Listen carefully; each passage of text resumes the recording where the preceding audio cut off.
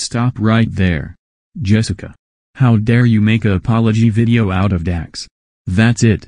Don't interrupt.